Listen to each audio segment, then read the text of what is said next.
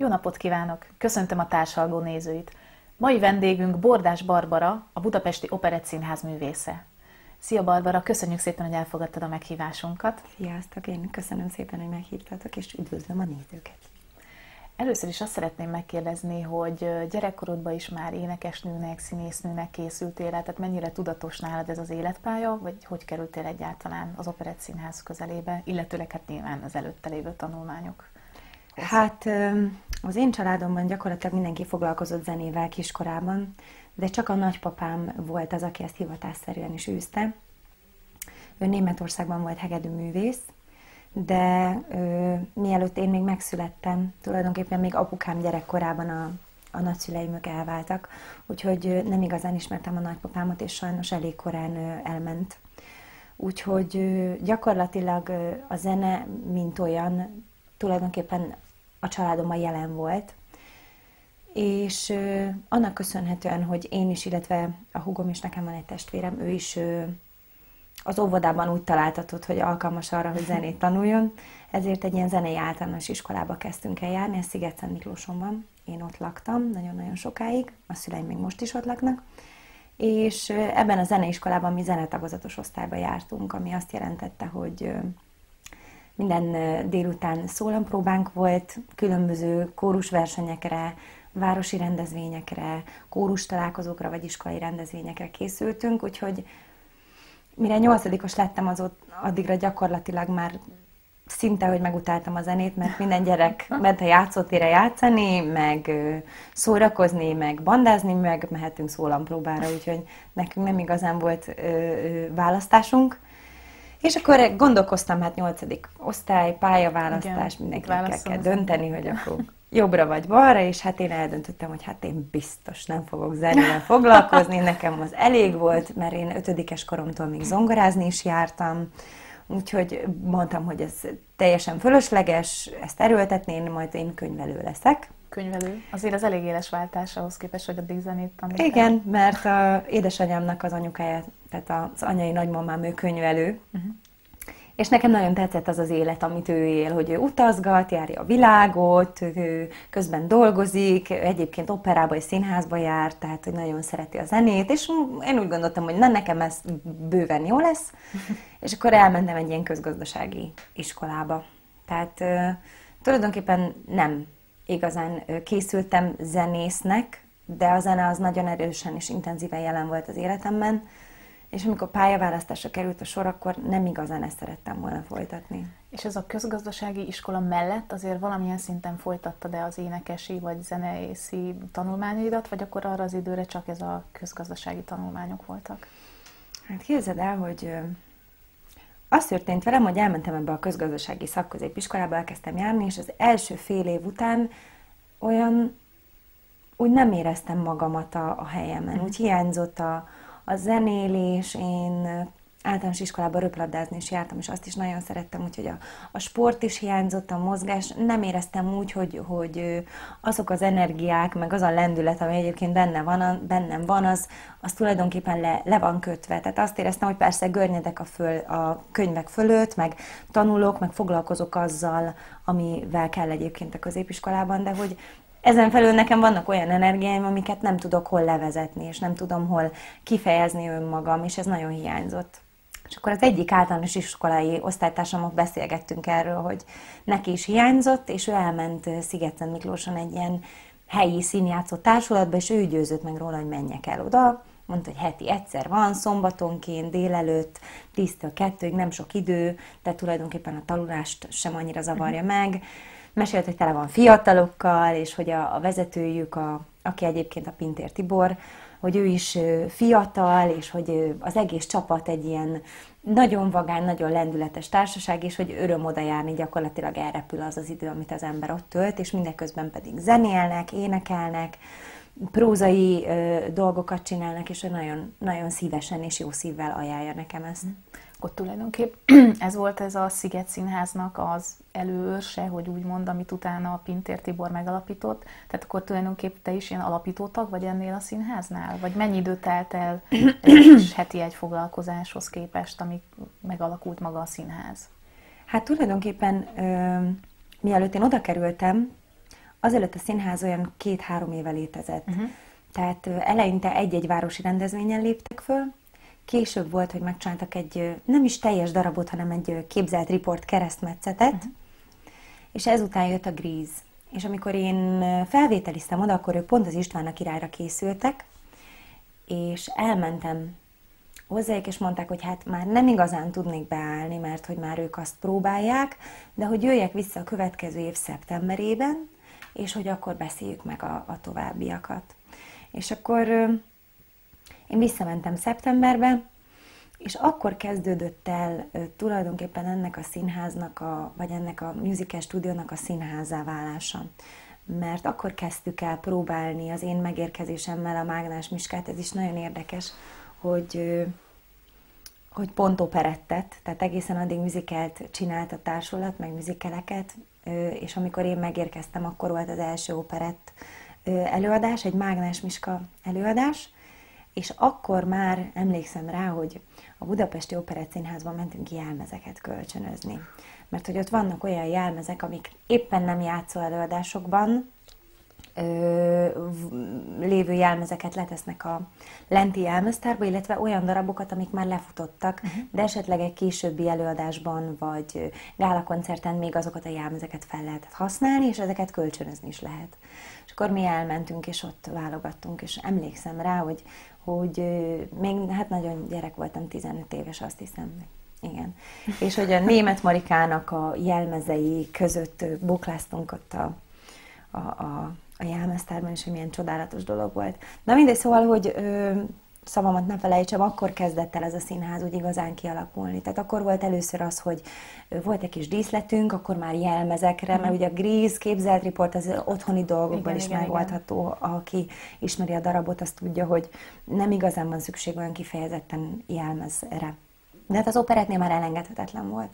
És akkor úgy indult el, hogy gyakorlatilag megcsináltuk ezt az előadást, öregek otthonának, kettő is van, vagy nyugdíjas klubnak, már nem emlékszem pontosan, és ö, utána pedig ö, a Tenya megismerkedett, a Pintér TV megismerkedett a Maros Gáborral a komédiás kávéházban, és onnantól kezdve már gyakorlatilag elindult a Musical Stúdiónak a színházá válása, mert akkor megérkezett az első hivatalosan külsős rendező a, a csapatunkba. Megérkezett valaki, aki tulajdonképpen az első vendégművész uh-huh. a produkcióba. És akkor ő nagyon-nagyon sokat segített nekünk, ő rendezte nekünk a Csárdás királynőt, a Marica grófnőt, János Vitézt, és ezekben a darabokban egyébként szerepeket is játszott, úgyhogy nagyon-nagyon sokat tanultunk tőle.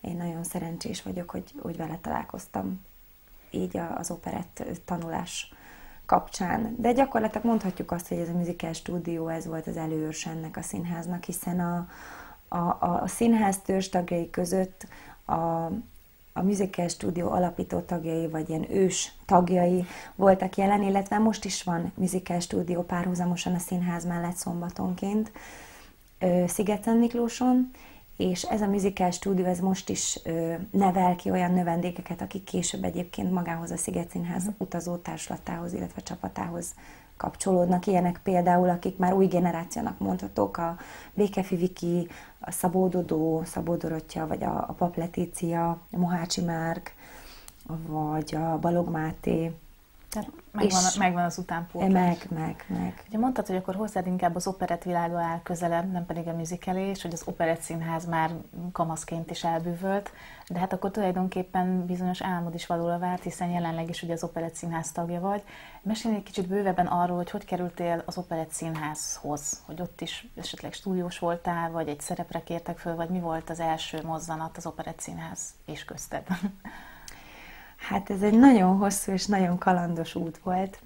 Sokszor, ö, ö, mikor kérdezik, akkor magam is elámulok rajta, hogy mennyi mindennek kellett tényleg összeállni ahhoz, hogy, hogy én ott legyek, és hogy mennyi, mennyi segítőkéz és szándék volt szükséges ahhoz, hogy én azokkal a lehetőségekkel tudjak élni, amiket én kaptam. Gyakorlatilag ez úgy indult, hogy amikor ez a Sziget Színház elindult, akkor egy idő után a Pintér Tibornak a volt felesége, a Jan Zakata is csatlakozott a csapatunkhoz, ő is nagyon-nagyon sok előadásban szerepelt vendégművészként, és ahogy a Tibor is, ő is a szívén viselte a mi sorsunkat, és szeretett volna gyakorlatilag bármiben, amiben tud segíteni uh-huh. nekünk ahhoz, hogy minél jobbak lehessünk, és minél megbecsültebbek lehessünk ezen a pályán. És neki köszönhetően az egyik előadásunkra ellátogatott Kéringer László, a Budapesti Operettszínház akkori karigazgatója, illetve az Operett Akadémiának a zenei vezetője, és ő megnézett egy János Vitéz előadást, Ekkor én már elég komolyan foglalkoztam a színházzal, és ekkor én már azért letettem arról, hogy könyvelő legyek.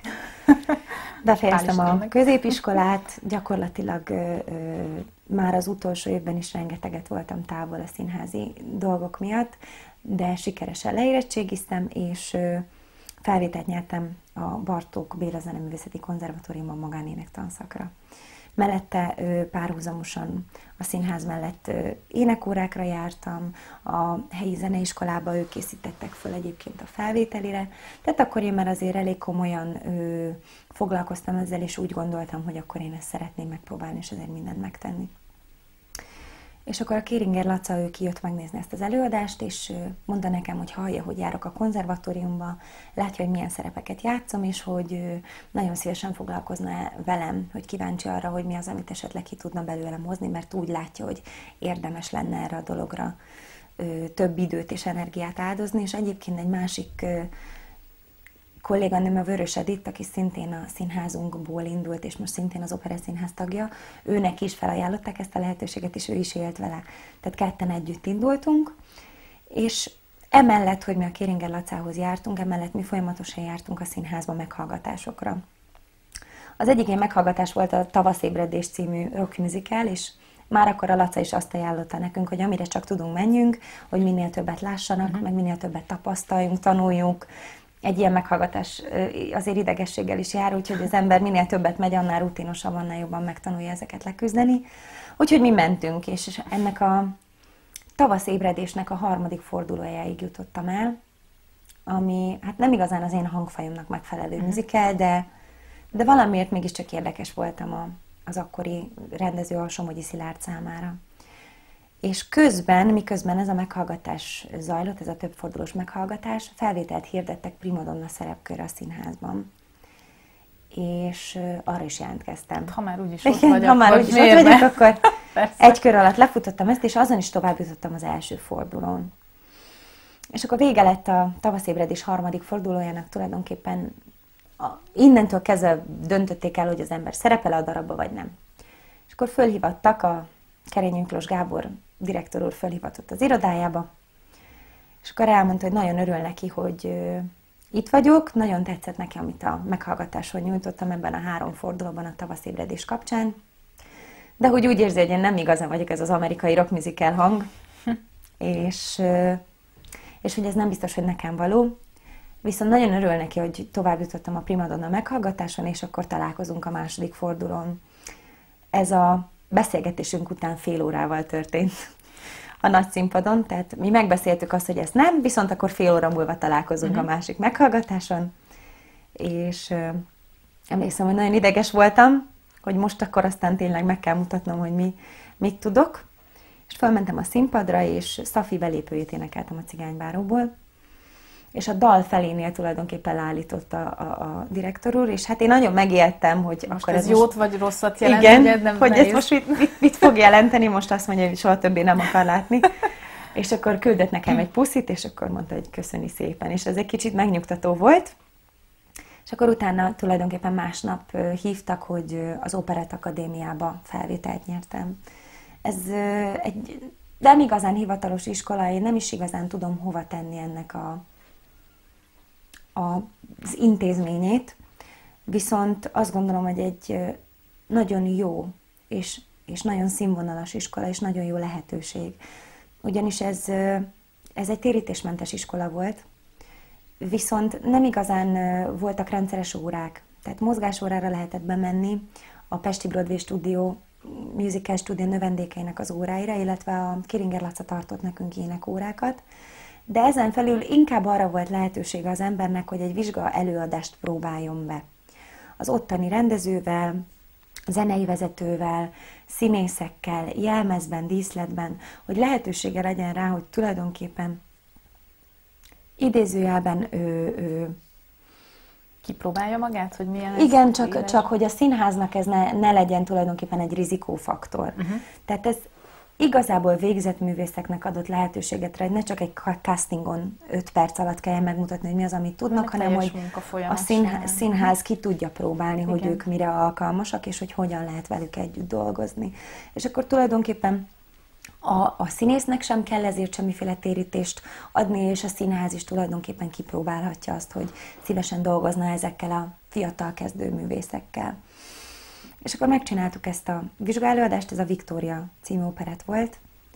Én ebben is nagyon szerencsésnek mondhatom magam, mert egy nagyon jó játékmester, rendezőasszisztens, rendező, színész, zeneszerző, egy kész polihisztor a, a Bori Tamás, aki rendezte nekünk ezt az előadást, és ő, ő is, a Peller Karesz is, illetve a Sandy Szilvi, mint játékmesterek, ők is nagyon-nagyon sokat segítettek abban, hogy én, mint hirtelen az Operett Színház ö, falai közé bekerült fiatal énekes, ne érezzem úgy, hogy most kell megmutatnom a most vagy soha ö, görcseit tulajdonképpen mm. ők, ők szépen leszették rólam, és kellő önbizalommal tudtam odállni az első előadás alkalmával, és emlékszem, hogy a direktor úr a harmadik előadásra jött el. Tehát még ezt, is, is, hogy még ezt is nagyon becsülöm benne, hogy adott elsőre, nekünk azért egy-két, egy-két előadás rutint, hogy, hogy nyugalomban és békességben folyjon le ez a dolog.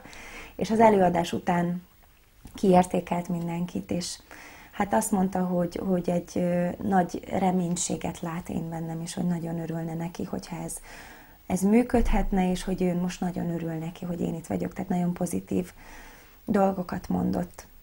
És ez mit jelentett, hogy utána akár már szerződést is ajánlott fel?